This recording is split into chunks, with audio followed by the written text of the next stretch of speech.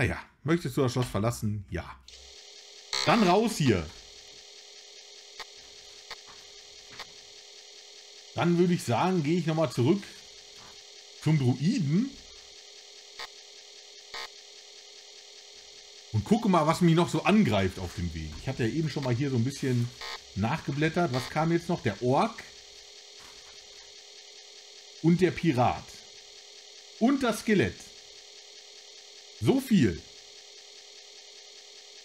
Können wir uns ja mal angucken. Zumindest den Ork vielleicht mal hier. Diese zweibeinigen Monster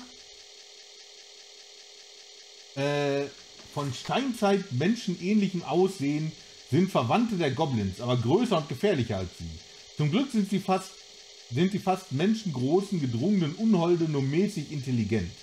Sie haben eine blau-schwarze bis dunkelbraune Behaarung und die Eckzähne ihres Unterkiefers ragen wie die Hauer eines Keilers aus ihren breiten Mündern.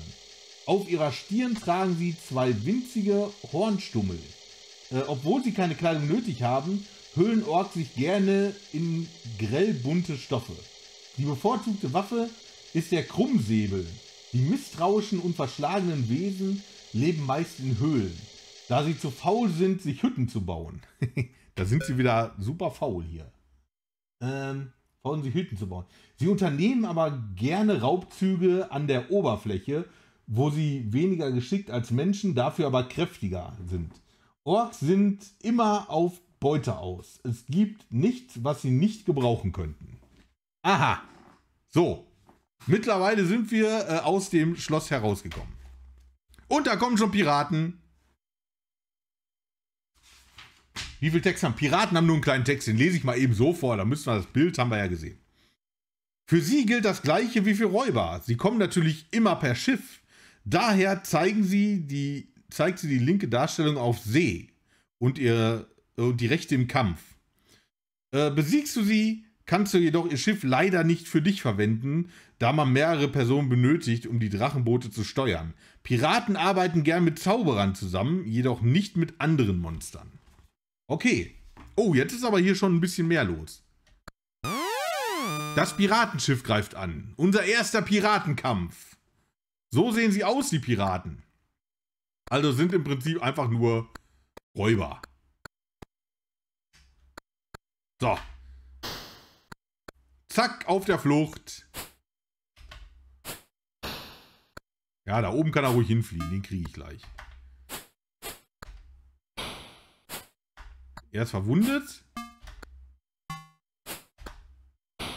Und jetzt vier Punkte. Immerhin. So.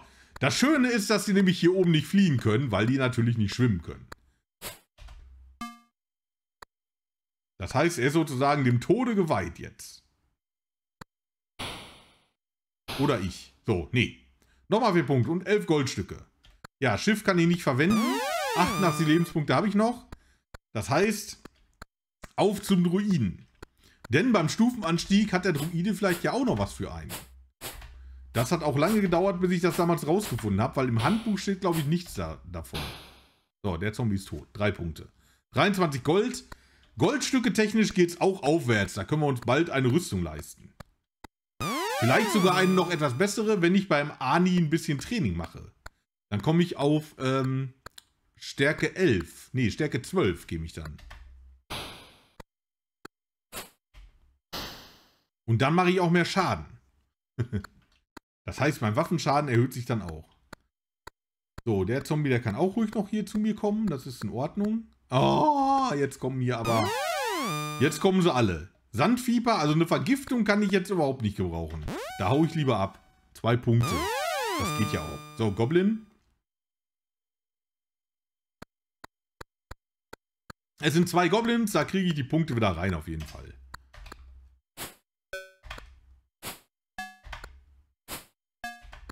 Meine Güte.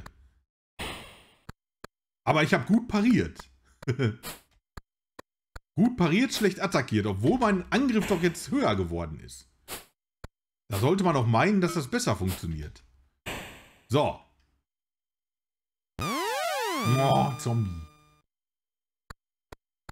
Zombie und Goblins, die sind auch keine Gegner mehr für mich und meinen treuen Gefährten. Wir müssen dem Morgenstern einen Namen geben. Ihr dürft gerne Vorschläge machen.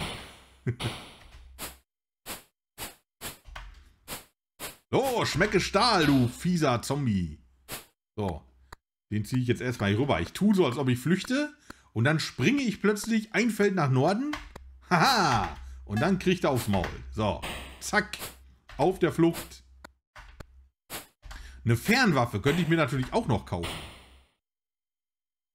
Fünf Goldstücke. Eine Fernwaffe wäre vielleicht keine schlechte Idee. Oh, Räuber und wieder so eine blöde Schlange. Hm. Diamantauge ist ein guter Name für einen Morgenstern. Da kommen die zwei Punkte, da verzichte ich drauf.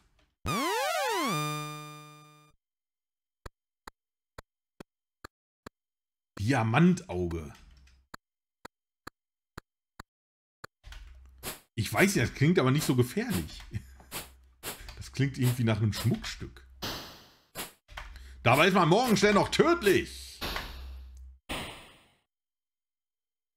Schädelschmetterer. Da kommt der nächste Räuber.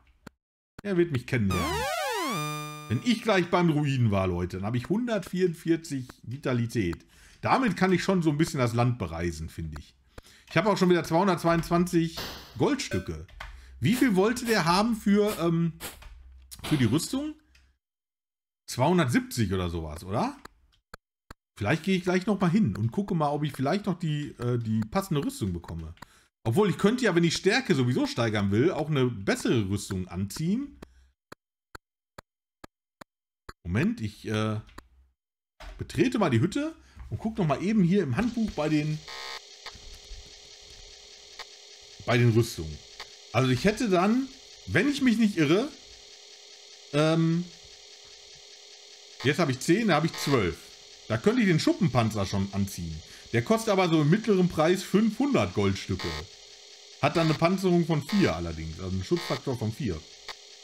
Bewegliche Metallplättchen, schuppenähnlich angeordnet, überlappen sich und schützen so den Körper des Trägers ausgezeichnet, Wobei er noch relativ beweglich bleibt. Leider ist der Schuppenpanzer recht schwer und umständlich zu reinigen und wird deshalb nicht häufig verlangt. und danach kommt dann noch die Ritterrüstung. Da braucht man dann ähm, eine Eigengewicht 14. Und dann gibt es noch eine magische Rüstung. Die hat aber ein Eigengewicht von 16. Also ab 16 äh, Stärke hat man fast ausgelevelt. 18 ist ja das Maximum, was man erreichen kann. Na gut. Aber den Ruin angesprochen. Oh, ich sehe, du bist jetzt auf Stufe 2. Darum erhöhe ich nun deine Empfänglichkeit für Magie. Und jetzt habe ich nämlich 24 Astralpunkte da oben. Und wenn ich jetzt den magischen Zirkel finde, dann könnte ich da vielleicht sogar äh, etwas lernen. 279 hat er verlangt. 279 Goldstücke. Hm. Da muss ich aber noch ordentlich Monster schnetzeln. Auf Wiedersehen. So. Ja, ich kann ja mal da hochgehen. Und mal gucken, was mich da noch so für Monster erwarten. Weil jetzt hier noch so ein bisschen... Ich könnte auch jetzt hier bei dem Druiden noch ein bisschen rumgrinden, bis ich so 300 Gold habe, um mir dann das Kettenhemd zu kaufen. Und dann die zwei Punkte noch aufsparen. Vielleicht dann hinterher in Geschicklichkeit packen, um mir dann... Hm, ich weiß nicht. Eine bessere Waffe zu holen. Also Geschicklichkeit 13 ist hier die, die Zauberschwinge, aber die muss man natürlich auch erstmal finden. Was ist denn hier mit den, ähm, mit den Fernwaffen? Was haben wir da denn? Trefferwirkung 7. Ah, ich lasse euch mal mitgucken. So. Also, hier, Fernwaffen. Der Kurzbogen braucht Geschicklichkeit 9. Das Blasrohr 12. Also das Blasrohr, aber das gibt es, glaube ich, nur in der Preis weiß man nicht, das gibt es nur in dieser Mubrak-Stadt. Bei den Dieben, weil das natürlich eine verbotene Waffe ist, denn die vergiftet sogar den Gegner. Also da kann man die Monster mit vergiften. Der Langbogen braucht eine Geschicklichkeit von 11 und die Armbrustgeschicklichkeit von 12. Also bei Geschick 13 hat man hier die beste Zweihandwaffe. Und bei Geschicklichkeit 10 die beste Einhandwaffe, die haben wir schon. Also waffentechnisch bräuchten wir eigentlich nur noch irgendwas Fernwaffentechnisches. Und da ist eigentlich im Moment nur der Kurzbogen. Gut. Ja, und ein Schild brauchen wir auch. Also Ausrüstung mäßig, ja hier, Geschicklichkeit 13 für die Zauberschwinge, der Elfenbogen Geschicklichkeit 11. Ich habe aber natürlich auch noch niemanden gefunden, der mir Geschick beibringen kann. Von daher ähm, ist das sowieso noch uninteressant. Dann lass uns erstmal bei den Rüstungen bleiben und vielleicht ein Schild. Da brauche ich aber jetzt natürlich noch ein bisschen Gold. Also geht's wieder ans Grinden, würde ich sagen. Aber ich kann ja so ein bisschen hier mal äh, die Gegend erkunden und dann gucken wir mal, vielleicht finden wir ja noch eine andere Stadt. 144 äh, Lebenspunkte. Ihr könnt mir überhaupt nichts. Ihr könnt direkt einpacken. Nehmt den Schädelschmetterer. Zack, auf der Flucht. Vollidiot. So, zack, tot. Nächster. mein Morgenstern wird euch verletzen. So. 16 Goldstücke. Ist natürlich jetzt wirklich... Oh, da kommt ein Ork. Das rechts ist ein Ork. Ähm, Ork greift an. Ist natürlich ähm, äh, jetzt relativ glücklich gelaufen bei der Charaktererschaffung, zugegebenermaßen im zweiten Versuch, dass jetzt die Geschicklichkeit wirklich schon so hoch ist. Ähm, wenn man das Spiel jetzt so ganz schnell durchspielen will und schon mal durchgespielt hat und weiß, wo jetzt die magische Waffe versteckt ist zum Beispiel, oder die magischen Waffen versteckt sind, dann kann man das bei der Charaktererschaffung sogar schaffen, dass man Geschicklichkeit 13 von Anfang an hat da sind die anderen Werte natürlich Grütze. Aber dann kann man direkt vom Startpunkt aus, sag ich mal, zu der Stelle laufen, wo man die magische Waffe bekommt, die ausgraben und da hat man direkt die beste Waffe im Spiel. Aber das ist natürlich nicht ähm, Sinn der Sache. Obwohl die Stelle schon ziemlich markant ist und ich sie als Kind damals tatsächlich ähm, beinahe gefunden hätte, ohne dass mir einer gesagt hätte, also ein Nichtspielercharakter gesagt hätte, wo ich denn da die Waffe finde. So, da ist alles von diesen Flüssen begrenzt. Da geht es also nicht weiter. Dann gehe ich gleich mal wieder Richtung Schloss. Da kommt ein Skelett und das Skelett haben wir uns noch gar nicht angeguckt. Auch da lese ich den Text mal eben am besten schnell vor. Wenn das hier vorne unter der Kamera liegt, dann kann ich das so schlecht lesen, weil das immer so, ähm, ja, so komisch da liegt und dann bin ich so weit weg und diese Schrift ist ja relativ klein, wie ihr gesehen habt. Aber das Skelettbild haben wir ja schon gesehen. Diese untoten Monster sind mit den Zombies verwandt, allerdings bestehen sie nur noch aus Knochen, die nicht mehr durch Fleisch und Sehnen, sondern durch schwarze Magie zusammengehalten werden. Die Knöchernen sind aber recht flink und nur schwer zu verletzen, da sie meist direkt durch Magie gesteuert werden, verhalten sich diese Werkzeuge des Bösen recht intelligent und können auch Waffen und Rüstungen benutzen, die oft ihre wahre Natur zunächst verbergen. Aha. Ja, ist aber, glaube ich, hier äh, spieltechnisch nicht relevant. Ist einfach nur so ein bisschen fluff. So, hat man noch irgendein Monster? Den Ork hatte ich gelesen, die Piraten hatte ich gelesen. Damit sind wir monstertechnisch jetzt schon mal für die zweite Stufe durch. So, dann wollen wir doch mal hier äh, angegriffen werden. Die Sandfieber greift an. Da flüchte ich, gibt vier Punkte Abzug. Macht nichts. Ich will nicht vergiftet werden. Der Goblin greift an. Oh, zwei Goblins und ein Räuber. Ich glaube, es ist ganz gut, wenn man die schwachen Monster zuerst besiegt, um Schaden zu vermeiden. Das ist natürlich voll unfair, weil ich jetzt von beiden Seiten da direkt angegriffen werde. So, der ist auf der Flucht. Vielleicht kriege ich ihn noch. Nee, der haut ab. Na gut. Dann den Räuber. Komm. 122 Lebenspunkte habe ich noch. Oh, ich will nicht wieder zurück zum Druiden müssen. Jetzt trifft den doch. Du hast doch so viel Angriff. Mann. Oh. Na, wenigstens ein bisschen Parade. Es wird Zeit für eine Rüstung. Dann kann man sich tatsächlich noch ein bisschen freier bewegen. Jetzt kommt noch ein Skelett. Da oben kommt noch ein Ork. Ich kann mich schon wieder auf den Rückweg zum Druiden machen, wenn das so weitergeht. Oder ich gehe oben nach Torwal und versuche da mein Glück ähm, äh, beim Heiler. Aber der war so teuer. Ich will ja eine Rüstung kaufen. Jetzt habe ich aber 275 Goldmünzen. Da könnte ich mir zumindest das Kettenhemd leisten. Die andere Rüstung für 500 finde ich ein bisschen übertrieben noch. Ich glaube, Gold hat man hinterher aber genug. So. Oh. Oh, das Skelett. Jetzt nur verwundet. Also die Skelette halten wirklich ein bisschen was aus hier. In diesem Fall ist der äh, Räuber das schwache Monster, was ich zuerst besiegen muss. Genau, Kettenhemd und später das Schild. Das ist eine gute Idee. So machen wir's. Oh, ich habe schon wieder hier nur noch 65 Lebenspunkte, ey. Skelett verwundet durch einen Treffer. Hier ist die Waffe schon nicht mehr so, so toll. So, aber noch geschafft. 5 Punkte, 20 Goldstücke. Dieses Gold wird mir gute Dienste leisten. Ich mache mich schon mal auf dem Rückweg hier umsonst heilen lassen. Und dann kann man ja später nach Torwall hoch und sich da dann heilen lassen. Das war zwar auch relativ teuer, glaube ich. Gucken wir mal, was hier die Orks so können. Leicht verletzt, auf der Flucht. Oh, so drei Treffer. Drei Treffer können die vertragen. Und man muss auch eine Rüstung kaufen, bevor man so auf Stufe 3 geht. Ne, Erfahrung 186 ist wie bei das schwarze Auge. Ab 300 Punkte komme ich in die nächste Stufe. Und äh, ja, da bin ich ja jetzt auf einem guten Weg. Weil jetzt kommen die Monster. Es kommen auch öfter Monster. Also hinterher wird man da wahrscheinlich immer nur noch angegriffen, wenn ich das noch so richtig in Erinnerung habe. Da gibt es Gott sei Dank dann Möglichkeiten, den Gegnern auch zu entfliehen.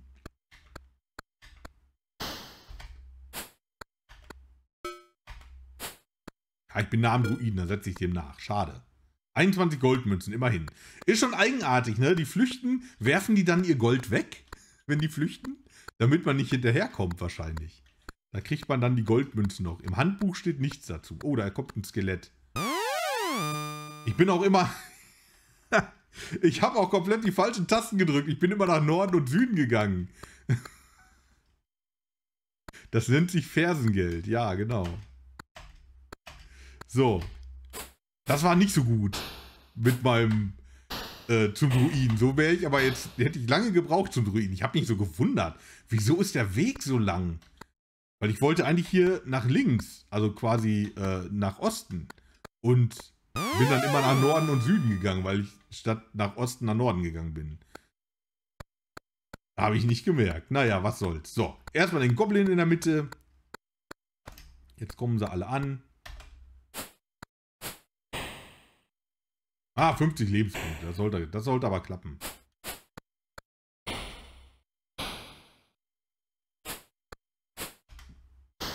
So, wunderbar. 200 Erfahrungspunkte. Das ging jetzt deutlich schneller als eben. Und man ist halt auch viel beweglicher. Und wenn ich gleich die Rüstung habe, dann halte ich es noch länger aus. So, einmal den Warp einschalten hier. Auf zum lustigen Druiden, da sind wir. Also auf dem Original C64 zu spielen, das Spiel ist schon eine Nummer. Mit den Ladezeiten. Da braucht man Zeit.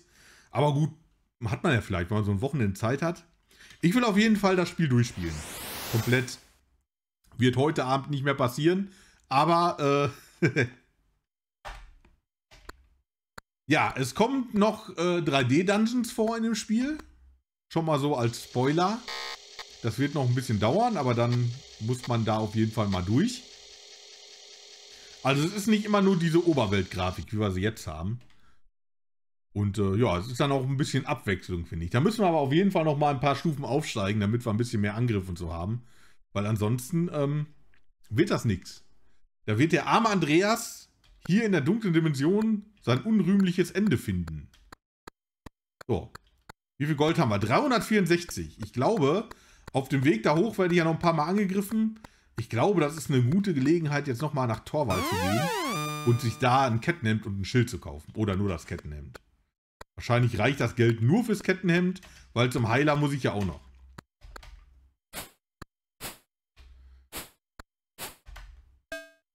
Oder ich spare auf 1000 Goldmünzen, dann habe ich direkt ein Schiff.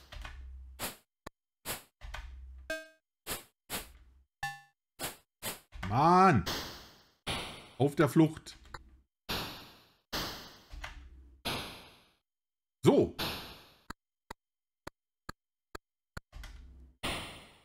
Schwer verletzt und tot. So. 13 Goldstücke. Jedes Goldstück zählt in diesem Fall. Muss aufpassen, dass ich dann nicht aus Versehen auf so ein Waldfeld laufe.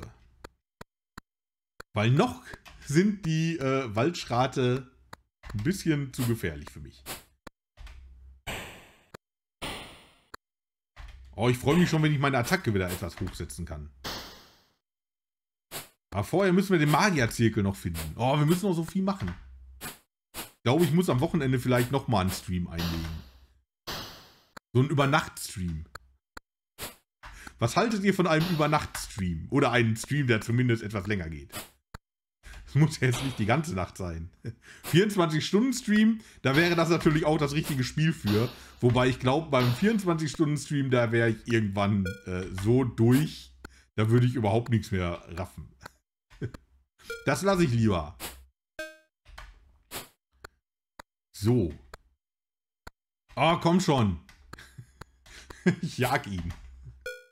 Oh, du musst ihn doch jetzt totschlagen. Du gibst doch keine Punkte sonst. So, 19 Gut. Nacht durchmache, warte kurz, ich ziehe mal eine Linie.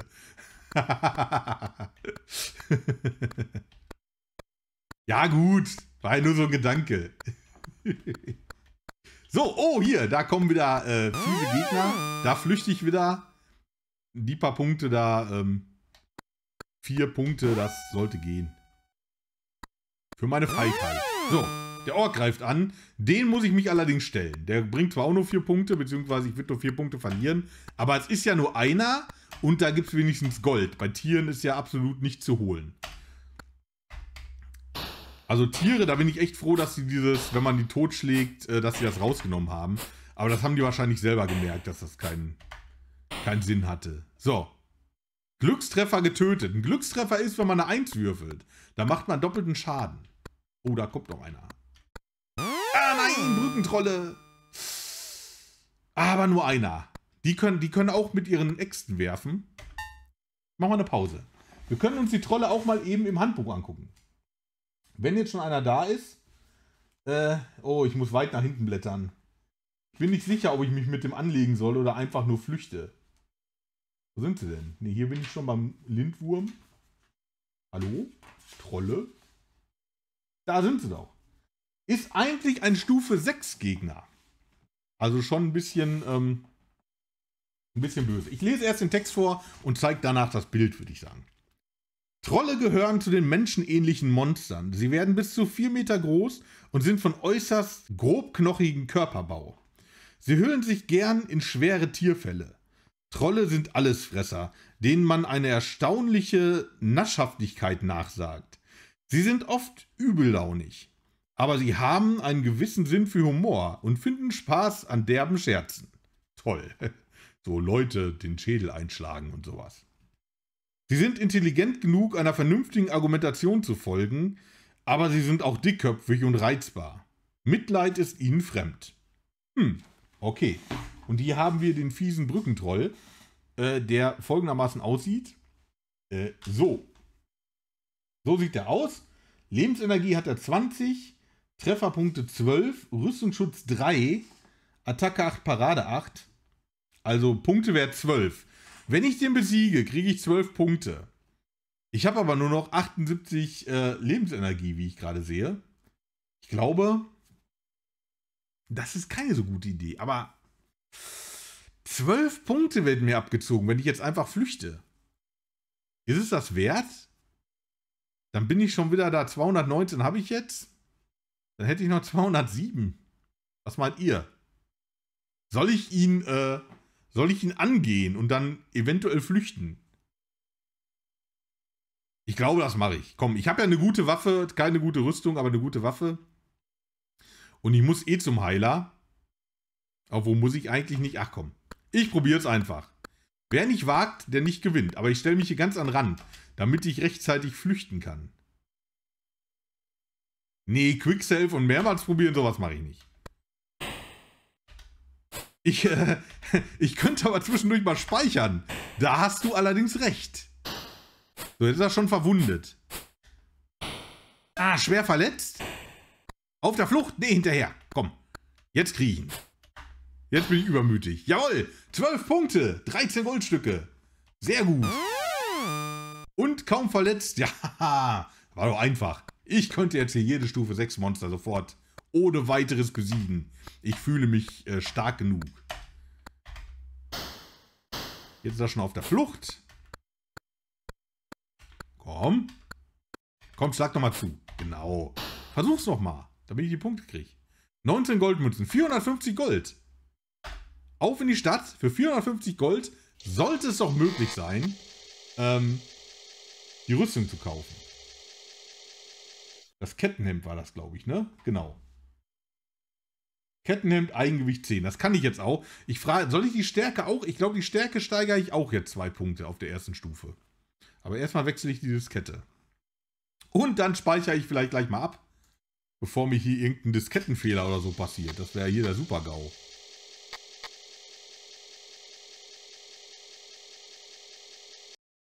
Ich warpe mal eben durch die Ladesequenz. Und dann speichere ich erstmal mit dem Emulator-Schnappschuss ab. Save. So. Und dann probiere ich das jetzt, weil ich traue diesen Abspeichern über das normale System nicht. Ich glaube, S, nee, S ist Suchen. Suchen ist nicht, äh, nicht das, was ich, was ich brauche. Ich brauche Abspeichern. Kann man überhaupt abspeichern? Ah, Angriff. Hm, hm, hm. Suche nach Geheimtüren. Kommunizieren, Zauberspruch. Warten. Benutzen. Ah, zuschlagen, Inventur. Inventur macht das draußen. Oh, ich kann hier bestimmt gar nicht abspeichern. Hm. Wie ging das denn? Gut, dass ich das Handbuch habe. Suchen, Position, da, Spielstand abspeichern mit Q. In Klammern, das S ist leider anders belegt. ja, gut. Du musst dazu eine formatierte Diskette einlegen und Anweisungen auf dem Bildschirm folgen. Ich habe bereits eine formatierte Diskette vorbereitet. Dementsprechend überhaupt kein Problem für mich. So. Äh, ach so, ich könnte mal probieren. Q, wie bitte? Nee, es geht nur draußen. Drin geht's nicht. So, auf zum Rüstungsmacher. Hier war der Heiler, den brauche ich jetzt nicht. Waffen. Ah, Rüstung war dann da drüber.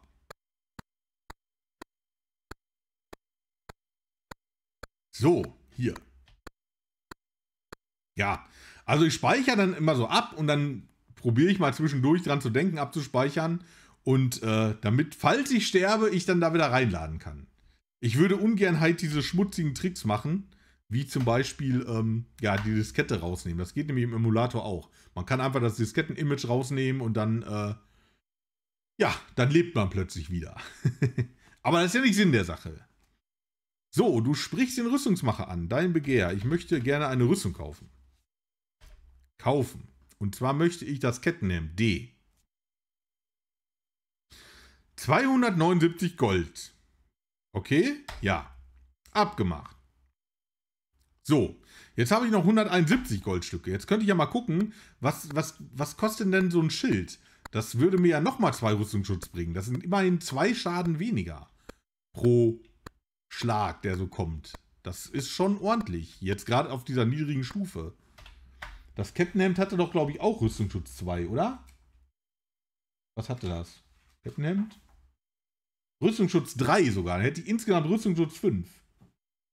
Das wäre sozusagen, als hätte ich eine Ritterrüstung an. Ich möchte gerne Waffen kaufen. So, möchte du kaufen, möchte ich. Kampfstab, Bastardschwert, Zweihänder, bla bla bla. Hm. Hatte gerade der Rüstungsmacher die, die Schilder? Oder habe ich es jetzt übersehen? Tut mir leid, aber das habe ich nicht. Habe ich das übersehen? Gerade? Mal zurück zum Rüstungsschmied hier oben. Ja, Schilde sind Rüstung, das ist mir auch klar. Logisch wäre es, das hast, da hast du recht. Ja. Ja. Ja. Ich möchte kaufen. Da, kleiner Schild, großer Schild. Ja, habe ich übersehen, ja. Danke nochmal für den Hinweis. Ich hätte auch wirklich selber drauf kommen können. So, großer Schild. 145 Gold, die hätte ich sogar noch. Ich würde sagen, ja, mache ich. Ich habe noch 69 Lebenspunkte. Da muss ich dann natürlich sehen, dass ich jetzt hier wieder irgendwie äh, zum Druiden komme oder so. Ja. Weil ich glaube, jetzt für die 26 Goldstücke heilen ist da nicht. Aber ich könnte mir vielleicht noch was zu essen kaufen.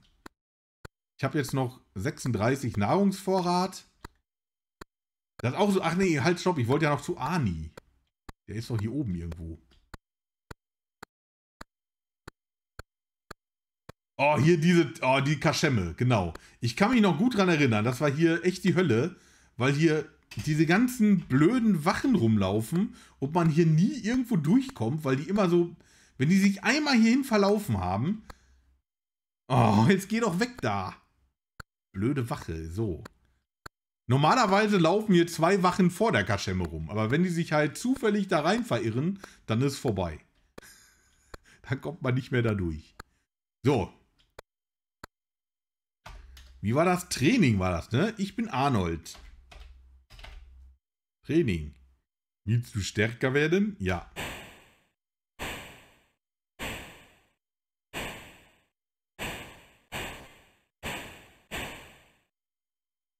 Haha. Super Effekt, wie ich finde. So, nochmal trainieren. Ja. Okay, es geht zweimal. Es sind zwei Punkte, die man kriegen kann. Jetzt haben wir Stärke 12. Nochmal sollte es eigentlich nicht gehen. Dazu musst du erstmal erfahrener werden. Na gut, Arnold. Auf Wiedersehen.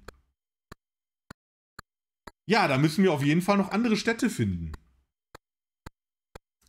Sonst ähm, wird das nichts mit Geschick und ähnlichem.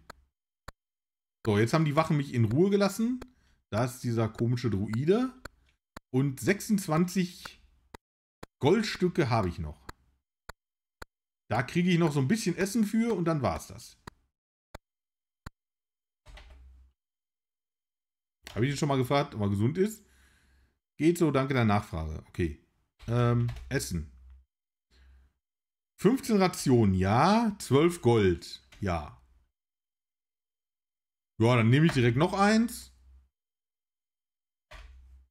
Dann habe ich noch zwei Goldstücke und ähm, mehr Gold habe ich ja dann nicht. Okay. Ich habe mein ganzes Gold ausgegeben. Ähm, Rüstung macht das draußen. Waffe und Rüstung muss ich gleich draußen ausrüsten. Ich glaube, das Schild muss man nämlich auch einzeln auswählen, aber da bin ich mir nicht sicher. Es kann auch sein, dass, äh, dass man da gefragt wird, wenn man die Waffe auswählt.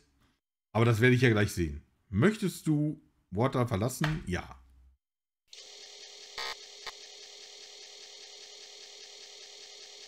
Diskette 1. So.